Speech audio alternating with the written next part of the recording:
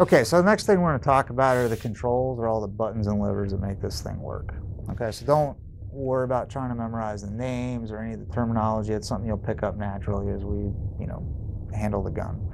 So what's important from a safety perspective is not that you know the name, but it's that you recognize where the control is and what its function is.